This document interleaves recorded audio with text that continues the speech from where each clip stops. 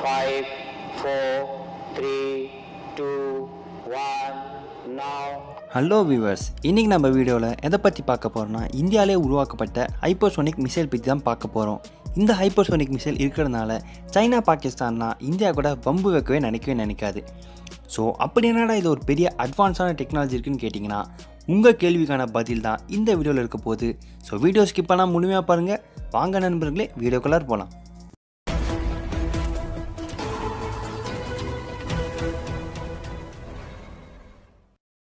இந்த ஹைப்பர்சோனிக் மிசைலை இந்தியாவை சேர்ந்த டிஆர்டிஓ தான் உருவாக்குனாங்க. அதுவும் ரஷ்யா இஸ்ரேலோட ஹெல்ப்பால் இந்த ஹைப்பர்சோனிக் மிசைல் உருவாக்கப்பட்டது. ஹைப்பர்சோனிக் மிசைலை அமெரிக்கா ரஷ்யா சைனா ஆகிய மூன்று நாட்கள் தான் வச்சிருந்துச்சு. ஆனால் இப்போ இந்தியா நாலாவது நாளாக இறங்கி சும்மா மாஸ் காமிச்சிருக்காங்க. இந்த ஹைப்பர்சோனிக் மிசைலை நம்மளால் ஈஸியாக லான்ச் பண்ண முடியாது. ஸோ அதனால் இவங்க என்ன பண்ணியிருக்காங்க இது கூடவே அக்னி ராக்கெட் பூஸ்டர் வந்து எக்ஸ்ட்ராவாக ஆட் பண்ணியிருக்காங்க நீங்கள் கண்டிப்பாக கேட்பீங்க ஹைப்பர்சோனிக் மிசைல் பொதுவாக மிசைல் எடுத்துக்கிட்டாலே நார்மலாக ஒரு பாயிண்ட்லேருந்து இன்னொரு பாயிண்ட்டில் போகும். ஸோ அதுக்கே இதுக்கு தேவையில்லாமல் அக்னி பூஸ்டர் எக்ஸ்ட்ராவாக வச்சுருக்காங்க அப்படின்னு கேட்பீங்க ஸோ அதுக்கு சில பேசிக்கான விஷயத்த பார்த்துடலாம் இப்போ. ஒரு பொருள் நல்லா எரியணும்னா என்ன தேவை? ஒன்று ஆக்சிஜன் தேவை. அதே மாதிரி நிறைய எரிபொருள் தேவை. இந்த இரண்டு பொருள் இருந்தால் தான் ஒரு பொருளால் நல்லா எரிய முடியும். ஸோ இந்த இரண்டு பொருளில் ஏதோ ஒரே ஒரு பொருள் காணாமல் போனால் கூட ஒரு பொருளால் நல்லா கொழுந்து விட்டு எரிய முடியாது. ஸோ இதே மாதிரியான கான்செப்ட் தான் இந்த அக்னி ராக்கெட் பூஸ்ட்லையும் வச்சுருப்பாங்க. இங்கே என்ன பண்ணியிருப்பாங்க ஒரு சைடில் வந்து ஃபியூல் டேங்க் வச்சுருப்பாங்க. அதே மாதிரி ஆக்சிஜன் டேங்க் வச்சுருப்பாங்க. எப்போ அந்த அக்னி ராக்கெட் பூஸ்ட்டை ஆன் பண்ணுறோமோ அப்போ இந்த ஃபியூலும் ஆக்சிஜனும் சேர்ந்து கம்பஷன் சேம்பருக்கு வரும். இந்த கம்பஷன் சேம்பரில் என்ன பண்ணுவாங்க? ஒரு எக்ஸ்டர்னலாக ஒரு இக்னேஷன் கொடுப்பாங்க. அதாவது எப்படி நீங்கள் ஸ்டவ் வந்து லைட்ரு மூலிமா ஆன் பண்ணீங்களோ அதே மாதிரி இந்த அக்னி ராக்கெட் பூஸ்ட்டில் ஃபியூலும் ஆக்சிஜனும் இந்த கம்பஷன் சேம்பர் வந்த உடனே எக்ஸ்டர்னலாக லைட் பண்ணுவாங்க.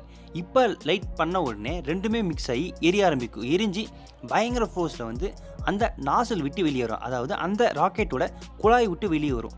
இப்போ அதிகப்படியான ஃபோர்ஸில் வெளியே வரனால அந்த ராக்கெட் மேல் நோக்கி செல்ல தொடங்கும். இந்த அக்னி பூஸ்டருக்கு மேலே தான் இந்த ஹைப்பர்சோனிக் மிசைலே வந்து வச்சுருப்பாங்க. இப்போ இந்த அக்னி பூஸ்டரை நம்ம ஆன் பண்ணவுன்னு என்ன ஆகும் படிப்படியாக அதோட ஸ்பீடு ஜீரோலேருந்து சூப்பர் சோனிக் ஸ்பீடுக்கு வந்து ட்ராவல் ஆக ஆரம்பிக்கும். ஸோ ஃபஸ்ட்டு இந்த சூப்பர் சோனிக் இந்த ஹைப்பர் சோனிக் அப்படின்னா என்னன்னு சொல்லிடுறேன். எப்போ ஒரு பொருள் சவுண்டோட கம்மியான ஸ்பீடில் ட்ராவல் ஆகுதோ அதை வந்து சப்சோனிக் ஸ்பீடுன்னுவாங்க அதே மாதிரி ஒரு பொருள் இப்போ சவுண்டோட வேகத்தில் வந்து ட்ராவல் ஆகுதுன்னா அதை வந்து மேக் ஒன்னு கூப்பிடுவாங்க. சப்போஸ் இப்போ சவுண்டை விட அது ரொம்ப ஃபாஸ்ட்டாக ட்ராவல் ஆச்சுன்னா அதோட ரேஞ்ச் வந்து மேக் ஃபைவ் வரைக்கும் வச்சுருப்பாங்க. அதை தான் நம்ம வந்து சூப்பர் சோனிக்குன்னு சொல்கிறோம் சப்போஸ் இதுவே மேக் ஃபைவ் விட ரொம்ப அதிகமாக இருந்துச்சுன்னா அதை தான் வந்து ஹைப்பர் சோனிக்குன்னு வாங்க. இப்போ இந்த Agni rocket booster super sonic ஸ்பீடில் ட்ராவல் ஆகிறதுக்கு என்ன தேவை? ஒன்று ஃபியூவல் தேவை அதே மாதிரி ஆக்சிடைசர் தேவை அதாவது ஆக்சிஜன் தேவை. இந்த இரண்டு பொருள் இருக்கிறதுனால இந்த அக்னி பூஸ்ட் வந்து சூப்பர் சோனிக் ஸ்பீடில் வந்து ட்ராவல் ஆகும். ஸோ இதே நீங்கள் ஹைப்பர் சோனிக் மிசைல் எடுத்துக்கிட்டிங்கன்னா அதுக்கு இன்புட்டே நம்ம வந்து சூப்பர் சோனிக் ஏரை வந்து தரணும். அதாவது நீங்கள் எப்போ சூப்பர் சோனிக் ஸ்பீடில் ட்ராவல் ஆகிறீங்களோ அப்போ தான் இந்த ஹைப்பர் சோனிக் மிசைல் வந்து ஒர்க்கே ஆகும். இந்த ஹைப்பர் சோனிக் மிசைலுக்கு ஸ்க்ராம் ஜெட் இன்ஜின் வந்து வச்சுருப்பாங்க. ஸோ இப்போ என்ன பண்ணிட்டோம் இந்த அக்னி பூஸ்ட்டை நம்ம ஆன் பண்ணோடனே சூப்பர் சோனிக் ஸ்பீடில் வந்து ட்ராவல் ஆகிடும் இதுக்கு மேலே தான் வந்து இந்த ஸ்க்ராம் ஜெட் கூட இந்த ஹைப்பர் சோனிக் மிசைலும் இருக்கும். இப்போ சூப்பர் சோனிக் ஸ்பீடில் ட்ராவல் ஆனோன்னு என்ன ஆகும் இந்த ஸ்க்ராம் ஜெட் இன்ஜின் ஒர்க் ஆக ஆரம்பிச்சிடும் இப்போ இந்த ஸ்க்ராம் ஜெட்டுக்கு இன்புட் என்ன இருக்கும்? சூப்பர் சோனிக் ஸ்பீடில் ட்ராவல் ஆகிற காற்றும் அதே மாதிரி சூப்பர் சோனிக் ஸ்பீடில் ட்ராவல் ஆகிற ஆக்சிஜனும் இருக்கும். இந்த இரண்டுமே இந்த ஸ்க்ராம் ஜெட்டுக்கு என்னாகும் இப்போ தான் அங்கே ஃபியூல் வந்து எக்ஸ்ட்ரா ஆட் பண்ணுவாங்க. மோஸ்ட்லி இதுக்கு வந்து ஹைட்ரஜன் ஃபியூல் தான் ஆட் பண்ணுன்னு சொல்கிறாங்க ஸோ இப்போ இது ரெண்டுமே கம்பைன் ஆனது என்னாகும் வெளியில் வரப்போ இந்த மிசைலை ஹைப்பர்சோனிக் ஸ்பீடில் வந்து தள்ள ஆரம்பிச்சிடும் சரிடா. ஆனால் நீ ஃபஸ்ட் என்ன சொன்ன? அந்த அக்னி ராக்கெட் பூஸ்ட்டுக்கு அங்கே வந்து கம்பஷன் சாம்பில் இக்னைட்டர் வச்சுருப்பாங்க அப்படின்னு நீ சொன்ன. ஆனால் இந்த ஸ்கிராம் ஜெட்டில் அது மாதிரி இக்னைட்டரே ஒரு போர்ஷனே இல்லையே அப்படின்னு நீங்கள் கேட்டிங்கன்னா சிம்பிளான காரணம் தாங்க. ஃப்ரிக்ஷன் தான் அதுக்கு ஒரு முக்கியமான காரணம். நீங்கள் எந்த அளவுக்கு ஸ்பீடில் ட்ராவல் பண்ணுறீங்களோ அப்போ என்ன ஆகும்? ஃப்ரிக்ஷன் மூலிமா உங்களுக்கு அதிகப்படியான ஹீட் கிடைக்கும். ஸோ இந்த ஹீட்டாலேயே ஈஸியாக அந்த சூப்பர் சோனிக் ஏரும் அதாவது சூப்பர் சோனிக் ஆக்சிஜனும் ஃபியூலும் ஈஸியாக கம்மன் ஆகிட்டு எரிய ஆரம்பிச்சிடும் இப்போ அது ஹைப்பர்சோனிக் ஸ்பீடில் வந்து ட்ராவல் ஆக ஆனால் இங்கே இருக்க முக்கியமான பிரச்சனை என்னென்னா இந்த ஹைப்பர்சோனிக் மிசைல்லாம் ஒர்க்கிங் டியூரேஷன் பார்த்தீங்கன்னா வெறும் four hundred to five hundred seconds தான். ஏன்னா அதுக்குள்ளாரே ஃபியூவல் வந்து சீக்கிரமாக காலி ஆகிடும் ஆனாலும் இங்கே இருக்க பெரிய அட்வான்டேஜ் என்னென்னா நீங்கள் எப்போ அதிகப்படியான ஸ்பீடில் ட்ராவல் ஆகிறீங்களோ அப்போ என்ன ஆகும் உங்களோட கைனட்டிக் எனர்ஜிலாம் வந்து பயங்கரமாக வந்து இன்க்ரீஸ் ஆகும்.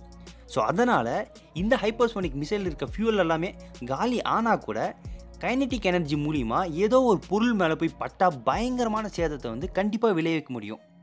அதே மாதிரி இது வந்து ஒரு ரீயூசபிள் டைப்புன்னு கூட சொல்கிறாங்க அதாவது இந்த அக்னி ராக்கெட் பூஸ்ட்டை மட்டும்தான் நம்மளால் ரீயூஸ் பண்ண முடியுமே தவிர இந்த ஸ்கிராம்ஜெட் பொருந்திய இந்த ஹைப்பர்சோனிக் மிசைலை நம்மளால் ரீயூஸ் பண்ண முடியாது.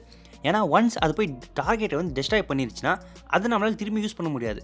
ஆனால் அக்னி பூஸ்ட்டை நம்மளால் திரும்பி யூஸ் பண்ண முடியும். அக்னி பூஸ்ட்டை வச்சு திரும்பியும் அது மேலே இந்த ஹைப்போசோனிக் மிசைலை பொறுத்துனா திரும்பி அதை லான்ச் ஆகிட்டு திரும்பியும் போய் பாதிப்பை ஏற்படுத்தும்.